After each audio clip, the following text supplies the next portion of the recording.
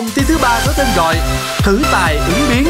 Trong vòng thi này sẽ có các cô chú diễn viên của chương trình hóa thân vào ba tình huống. Các bé sẽ bấm chuông giành quyền trực tiếp lên xử lý các tình huống đó. Số điểm tương ứng của các bé nhận được với tài ứng biến của mình là 10, 20 và 30 điểm. Tình huống đầu tiên Bắt đầu. Tan trường tan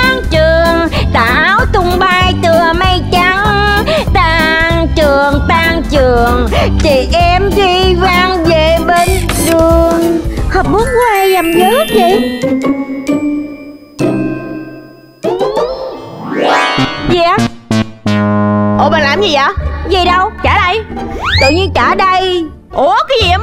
Đồ của tôi mà. Gì đồ của bạn? Bạn thấy cái gì không đồ của bạn? Cái hộp bút của tôi mới làm rớt. Thấy chưa? Thấy chưa? Của tôi. Ê bạn vô duyên quá hộp bút này của tôi mà. Vậy tôi đem lên cô hiệu trưởng. Ê Tự nhiên bút của tôi đem lên cô hiệu trưởng. Ai bấm vậy? Ai bấm Bạn vậy? cứu bồ. Bạn lên giúp mình đi. Bạn giúp mình lấy hộp bút lại đi. Hộp bút đó của bà Của chị này. Ủa sao bạn biết hộp bút của chị đó bạn không đúng rồi. Vậy là bạn ờ, Khi nào mà bạn thấy á, là cái chị đó đó Chỉ làm rớt á Mà tôi á Tôi lụm á Thì mới là của chị đó. Còn cái này hộp bút này của tôi chứ bộ. Bạn bạn ra đây Bạn ra đây bạn nói chuyện với tôi nè. Sao? Tại hồi nãy bạn này làm rớt. Đúng rồi. Trời ơi Có ai cứu không ra là làm chân Bạn tôi bạn, đi bạn lên giành hộp bút lại giùm mình đi. Bạn áo đen Bạn về phe tôi đi Bạn bạn lên giành hộp bút lại giùm mình đi. Hộp bút này của ai? Hộp bút này của bạn Bạn kia. Đúng rồi. Láo. Bạn kia nói láo kìa Bạn nói láo. Suy sụp. Ủa cái gì kỳ vậy? Bạn không nói đâu Ủa trời ơi lật mặt tôi luôn vậy. Sao Bạn nói đi Bạn Trời không chơi luôn Thấy chưa? Bạn thấy chưa Giờ để tôi làm chứng cho. Rồi bạn Rồi. nói đi. Bạn nói cho công bằng đi Còn con là tôi đi lên hội trưởng Ủa bạn đi đâu mà tôi lết theo bạn vậy? Rồi bạn nói đi. Tôi muốn bạn nói. Nè Bây giờ Bạn bạn làm lại cái cảnh cho mình coi đi. Bạn làm rớt ở đâu? Đây mình làm lại nha Mình làm lại nha. Chưa? Mình làm lại nha. Trời Hồi nãy ơi mình đi. trời ơi, bạn dễ thương quá Tôi ngưỡng mộ Bạn Bạn ơi hồi nãy mình đi vậy nè Mình chạy chạm rớt hộp bút đó. Hộp bút đó của mình. Hộp bút của Của Của chị Ủa bạn chơi lại với mình rồi hả? Trời ơi bạn ba phải nè Bây giờ vậy nè chú Nghĩa hỏi nha. Nếu như quả thật cái hộp bút này á là của cái bạn kia Rồi cái bạn này lụm được hộp bút Thì theo con bạn này có nên trả lại cho bạn kia hay không?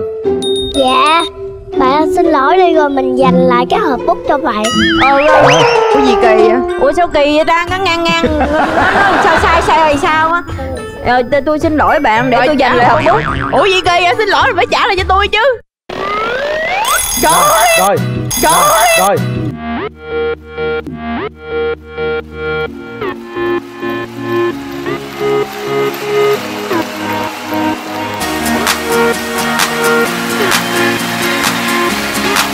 Rồi Bạn ơi cứu mình. Không nói một lời. Cái gì? Chết cha. Không nói một lời. Bây giờ Nói nè. nhỏ kìa. À, à, Nó nhỏ sao Nó nhỏ sao? Trời cái gì hôn nhau luôn hả?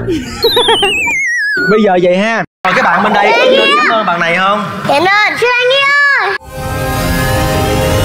Cho tiếng đi đại ra Cho tiếng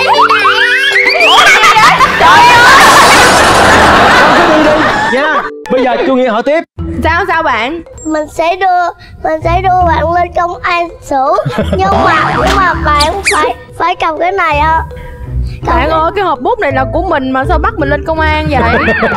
Nè bây giờ nè nghe em tôi hỏi nè. Giờ hộp bút này không phải là của tôi Mà cũng không phải là của bạn này. Theo bạn tôi phải đem hộp bút này đi đâu Lấy luôn. Không phải là bạn của bạn nữa. Cảm ơn hai bạn. Lê Giang và Lê Lộc. Thưa quý vị khán giả Sau khi chúng tôi xử lý xong tình huống đầu tiên Bạn Nguyên Hoàng vẫn chưa quay trở lại. Chắc hồi nãy bạn Nguyên Hoàng khát nước Cho nên bạn ấy uống nhiều nước Và bạn ấy đi hơi lâu. Ồ Mình thấy thấy bạn Nguyên Hoàng quay trở lại rồi. Bạn Hoàng ơi. Mình lấy luôn hộp bút rồi. Bạn Hoàng thấy thoải mái chưa? Thấy nhẹ nhõm chưa Yeah yeah yeah. Cảm ơn các bạn. Như vậy là với cái tình huống đầu tiên Thì cả ba bạn nhỏ đã cùng xông lên Giải quyết tình huống này. Nhưng mà bây giờ chú Nghĩa sẽ nói cho các con biết nè. Nếu như mình không biết cái hộp bút này là của ai Không biết phải của bạn Lê Giang hay không Không biết phải của bạn Lê Lộc hay không Thì mình sẽ đem lên nộp cho cô giáo. Ha, Thầy cô giáo sẽ tìm xem Cái hộp bút này là của bạn nào đánh rơi Để trả lại cho bạn đó. Nhưng mà giành giật hoài con thấy Giật qua giật lại hoài con thấy gói quá con, Cho nên con lấy luôn cho khỏi giành qua dừng lại. Con xử lý tốt. Dành qua dành lại hoài rối quá mình lấy luôn. Nhưng mà sau khi mình lấy luôn mình phải mang lên cho cô giáo. Chứ mình không có lấy luôn rồi mình mang về nhà mình nghe con. Ừ. con game xấu mang về nhà đâu. Đúng rồi giỏi. Mình con lấy luôn chứ khỏi tranh giành nữa. tại vì con biết ở trong đây đâu có cái gì đâu con lấy. Trời ơi con làm lộ tẩy của chương trình hết rồi cảm ơn các con. Và bây giờ mời các con tập trung xem tình huống thứ hai. Đi học về xong rồi em ăn uống. Em ăn uống rồi em lấy con heo. Ê chà bạn giang ơi bạn giang. Bạn giang ơi bạn giang có nhà không? Ủa? Bạn giang bạn có nhà không tôi mới đi học về nè. Ờ vậy hả? Tôi có cái ống heo này tôi để dành đó để tôi mua đồ. Tôi tôi mua cái món đồ tôi thích nè. Ê, cho mượn người heo đẹp quá vậy? Ừ. Trời ơi con heo đẹp quá ha tiền á tiền tôi bỏ chổng nhiều lắm á. Tại vì á mỗi sáng ba má tôi cho tôi tiền tôi ăn sáng mà tôi không ăn sáng. Để tôi để dành tôi mua cái món đồ đằng kia tôi thích lắm. Rồi xong rồi vô trường xin bạn khác ăn bạn nói nghe nè ở trong trường mình á đang có cái đang có cái chương trình là uh, đóng, đóng góp để mà ủng hộ đồng bào lũ lụt miền trung á bạn nhớ không? Hôm qua cô giáo có nói với mình đó. Ờ. À, bây giờ mình đi đi qua nhà mỗi bạn mình gom tiền quỹ nè. À vậy hả? À. vậy đi bạn gom đi bạn đi ghé nhà tôi có chuyện gì không? Mình gom tiền quỹ đó. Ừ, nhưng mà mình không có tiền mình bỏ tiền trong ống heo hết rồi à, bây giờ mình đập ra đi xong rồi mình ủng hộ các bạn lũ lụt miền trung. Không được cái ống heo này của mình mình mua cái món quà mình thích nhất sao mình rồi góp tiền vô lũ lụt miền trung chứ? Không được. Không. hay là bây giờ để dịp khác tôi làm từ thiện được không? Trời dịp khác lỡ người ta không có lũ lụt thì sao? Trời chứ tôi thích món quà mà tôi không mua được tôi không chịu đâu. Trời bạn bạn ích kỷ quá bạn không có giúp đỡ mấy bạn bằng tuổi mình gì hết trơn á. Nhờ các bạn bên đây đi. Rồi Panda xuống đây xử lý. Ừ. xử lý rồi bạn ơi bạn giúp bạn ơi bạn giúp cho mình coi. Bạn bạn thấy tôi là mua cái đập ống heo này ra mua đồ chơi hay là giúp cho mấy bạn nhỏ đang bị khó khăn? Theo bạn nghĩ thì sao? Ừ, mua đồ chơi. À, mua đồ thấy chơi. chưa? Ừ. bạn sai rồi bạn này nói mua đồ chơi rồi mua đồ chơi hả? Rồi mình biết rồi. Mình thôi bạn về đi tôi quyết định có bạn nào xử lý khác không? Hả? Ờ, có bạn này Bạn ơi Bây giờ mình làm sao đây bạn? Trời ơi Bạn Bạn giúp tôi bạn nghe tôi nói nè Bây giờ cái ống heo này tôi để dành Mà tôi định mua một món đồ chơi cho tôi Nhưng mà bạn này qua nói là để giúp từ thiện cho các em á Ở ngoài bị lũ lụt Bạn thấy sao? Ý bạn làm sao? Mấy bạn nghèo không có đồ chơi Mấy bạn buồn lắm Ủa vậy mình mua đồ chơi với mấy bạn hả? Ừ, cũng là mua đồ chơi mà là mua đồ chơi cho các bạn. Mua, mua đồ ăn nhiều à. bánh kẹo nè. Rồi mình muốn một bài nhảy để tặng cho mấy bạn nhà nghèo. Bạn biết nhảy không? Biết ra nhảy liền. ra nhảy liền. Trời ơi nó quay mặt vô trong luôn kìa. Ừ. ơi trời ơi. Trời trời ơi dẻo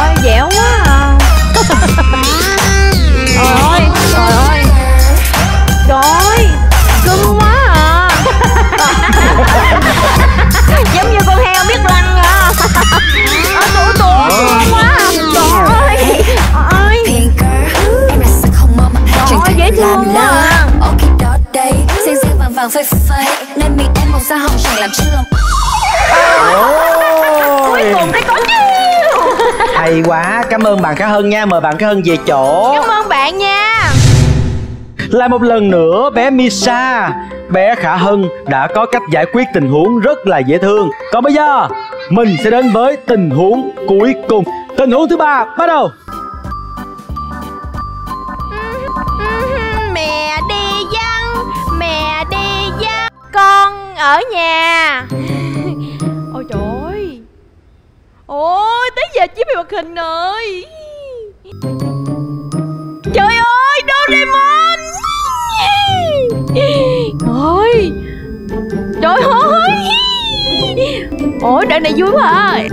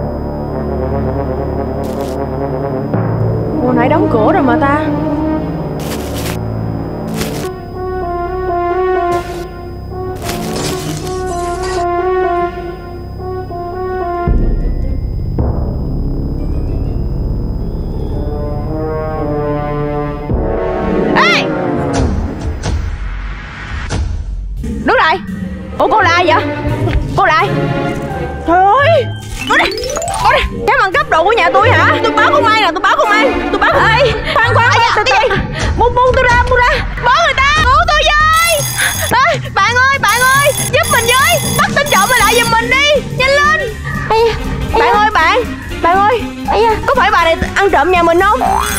Bắt qua lại đi Bắt qua lại đi Bây giờ mình phải làm sao đây? Ây da ây da ây da đừng bẻ tay. Bạn ơi Bây giờ mình phải làm sao đây? Bạn ơi bây giờ mình phải làm sao đây bạn da ây da bẻ tay tôi ơi trời Bạn đất ơi. bạn bây giờ mình phải làm sao đây các bạn ơi. Ủa bạn tìm cái gì vậy? Rồi rồi giờ mình Giúp mình đi bây giờ bạn này bạn ăn, ăn cắp đồ nhà mình Bây giờ mình phải làm sao đây? Mình không phải là ăn trộm. Tôi vô tôi dọn vệ sinh mà tôi đâu có ăn trộm. Nhưng mà ừ, Bàn người ta đã sạch sẽ rồi Còn lao cho chày cái bàn hả? Trời ơi tôi đâu đúng rồi người ta lau sạch rồi bạn vô bạn lau thêm chi nữa bạn cái bạn này nói tôi ăn trộm mà tôi đâu có ăn trộm đâu tôi làm vệ sinh thôi à. Bây giờ ý của bạn có tôi có phải là ăn trộm không? Đợt đầu có. Nếu là ăn trộm thì giờ mình giải quyết làm sao? Gọi ai rồi gặp anh công an chưa? Alo công an. Công an tới gần ăn trộm Bà ốp mặt cho tường. Hả? Dạ tôi đâu mặt có- tường. tôi Không ốp mặt cho tường là đứng lên luôn á. Đứng, Ờ, đứng lên. Như mình vậy nè. Đây này và tôi Đi. Rồi ra đây ra đây. Bạn hoàng có cách giải quyết gì nữa không? Không Công an gần tới rồi. À, công an gần tới rồi. Công an gọi rồi kìa. Công an giải quyết Alo. Dạ em mở cửa kìa. Rồi, rồi mở cửa đi công an Mở vô. cửa mở cửa. Mở cửa công an. rồi công chú an công an tới nè chú công an tới. Nè đây công an tới chú kìa. công an tới. Rồi chú công an tới kìa các Chú bạn công ơi an ơi bắt người này. Tại sao lại bắt người này? Dạ người đó này. Ăn cái đó ăn lấy ăn ăn trộm cái gì? Ăn trộm cái này. À, Mấy đồ dễ lắm nhưng mà bây Mấy giờ đâu quý lắm. mình có cần mình hỏi người ta làm sao không? Dạ không. Bây giờ bắt luôn đi. Giúp bắt luôn đi hả? Rồi bắt thôi xe bây giờ chú công an sẽ mang người này đi nghe không? Ok. Ok rồi đi. Luôn. Đi theo tôi đi về phường giải quyết. Đi về đi về phường đi về phường. về phường có sao không nữa mấy bạn ơi. Rồi. Như vậy là trải qua ba tình huống Thì bé Misa Khả Hân là người giải quyết được nhiều nhất. Còn hai bạn Banda với bạn Nguyên Hoàng Thì các con à, chưa giải quyết được nhiều. Vì vậy chú Nghĩa quyết định Tặng cho bạn Khả Hân 30 điểm. Bạn Nguyên Hoàng và bạn Banda mỗi bạn đều được 10 điểm. Vậy là cuối cùng điểm số của chúng ta như sau. Bạn Nguyên Hoàng được 75 điểm. Khả Hân 85 điểm. Và Panda 70 điểm với tổng số điểm 85, bé Khả Hân đã xuất sắc giành giải nhất tuần và đạt được số tiền thưởng trị giá 5 triệu đồng. Bé Nguyên Hoàng 75 điểm đã giành giải nhì của chương trình với số tiền thưởng trị giá 3 triệu đồng. Và cuối cùng với số điểm 70, bé Panda đã là thí sinh về ba của chương trình với số tiền thưởng trị giá 1 triệu đồng. Rồi, Khả Hân đứng dựa Giải thưởng nhất tuần của chương trình Bản lĩnh nhóc tỳ trị giá 5 triệu đồng. Sẽ dành cho cô bé Misa Khả Hân Còn bạn Panda và bạn Nguyên Hoàng sẽ là giải nhì và giải ba. Chúc mừng các con nha. Ừ, Các con đều rất là dễ thương và đáng yêu. Quý vị khán giả thân mến, chương trình Bản lĩnh nhóc tỳ đến đây xin được phép kết thúc. Hẹn gặp quý vị khán giả vào tuần sau 10 giờ Chủ nhật hàng tuần trên kênh VTV3 Xin chào tạm biệt